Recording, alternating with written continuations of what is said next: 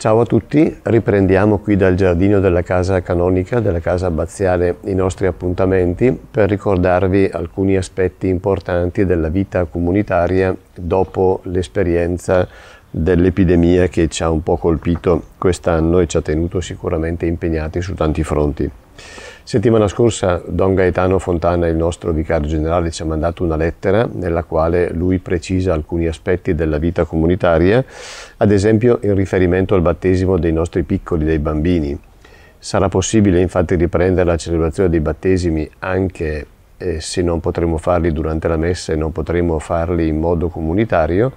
per questo motivo invito voi genitori che mi state ascoltando a contattare l'ufficio parrocchiale o me direttamente per fissare la domenica o il sabato pomeriggio nel quale intendete battezzare i vostri bambini.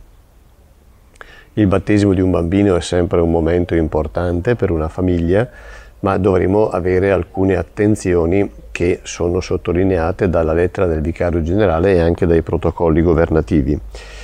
Quindi vi aspetto per fissare questo appuntamento. Evidentemente cade la restrizione di avere una domenica sola per i battesimi, ma cercheremo di venirci incontro dandovi più possibilità.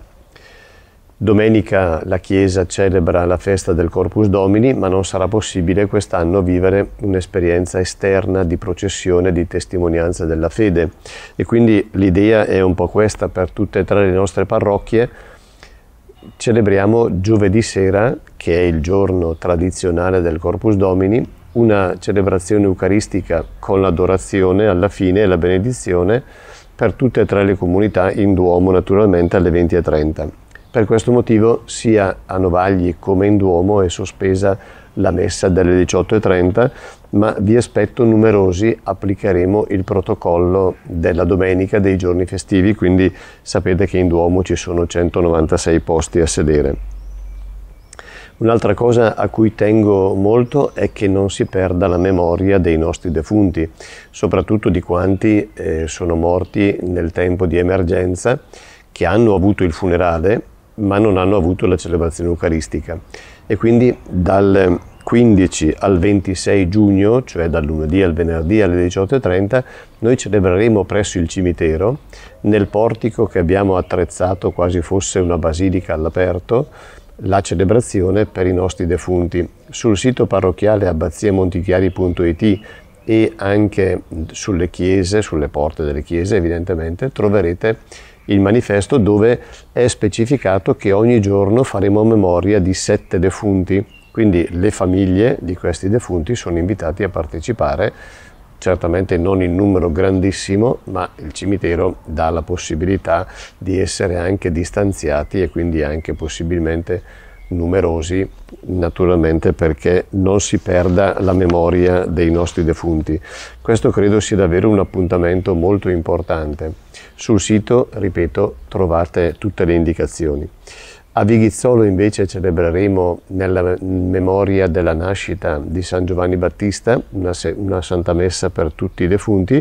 e a Novagli nella sera di San Pietro 29 giugno alle ore 20, naturalmente 20 e 30 scusate, naturalmente queste celebrazioni saranno all'aperto per dare la possibilità a più di partecipare. Naturalmente il centro estivo ci sarà, nonostante tutte le restrizioni che abbiamo con il comune abbiamo trovato un modo per intervenire, per dare un segno di attenzione alle famiglie, soprattutto a quelle dove i genitori lavorano entrambi. E non sarà naturalmente il GREST a cui siamo abituati,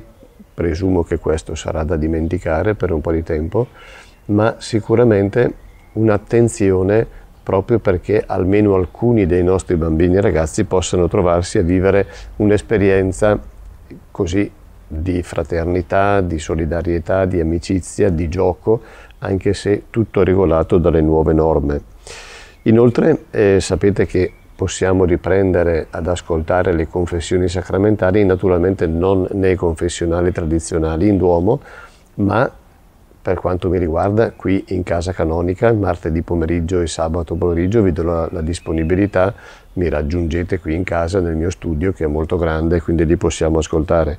Don Alessandro presso il centro giovanile il venerdì e il sabato pomeriggio dalle 16 alle 18 e Don Nicola ha iniziato questa esperienza che mi sembra molto interessante di essere disponibile nelle frazioni come punto di riferimento il martedì e il mercoledì presso la chiesa di Santa Giustina dalle 9.30 alle 12 e dalle 15.30 alle 18 e il giovedì e il venerdì con lo stesso orario presso la chiesa di San Giovanni Battista a Vighizzolo. C'è anche un'altra piccola cosa che è